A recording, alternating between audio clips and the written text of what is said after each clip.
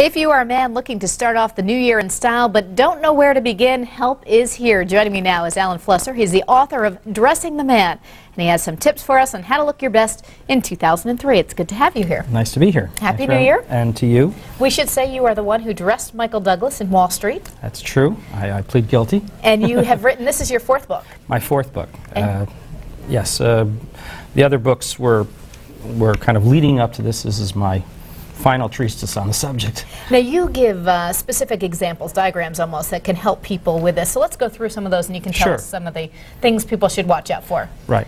I, I'm basically a person who thinks information is the most important thing about dressing. Style has something to do with it. This is a good example.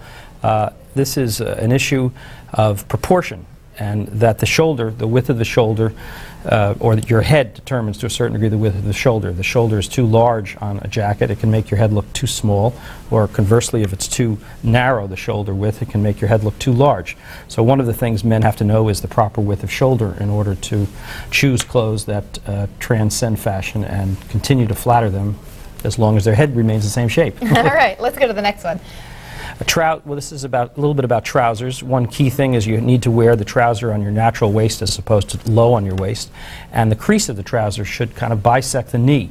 Which, uh, if it doesn't, and usually it, it, if it errs, it goes to the outside of the knee. It makes the trouser look, uh, your, your, the front of you look too wide, which most people would like to avoid. And then these are three different kind of styles of wearing cup, uh, wearing the bottoms, whether it's cuffed um, and breaks a little, or uh, is has no cuff, or the mid-Atlantic solution where it just sits above the, the shoe. And the crease hint can be good for women as well. Absolutely. All right, let's go to this one right here. Um, this is a little bit about how, uh, in, in dressing down, uh, uh, how to uh, coordinate uh, uh, a shirt and a, and, a, and a blazer. One of the things someone should know uh, is how to wear a blazer, and if you wear a, a dark shirt with it, it makes it look more modern and more kind of young, uh, as opposed to a, a contrasted shirt, which gives it a more traditional look.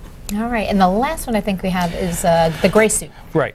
One of the basic, uh, you know, keys of a man's wardrobe is a good gray suit, and a gray suit is something that is uh, easy to push more formal or, or less formal. And these are three different ways of wearing a gray suit without a tie, from uh, you know dressing down in the office with a button-down shirt to even a T-shirt, and then in the evening wearing a scarf around your neck, with all with the same suit.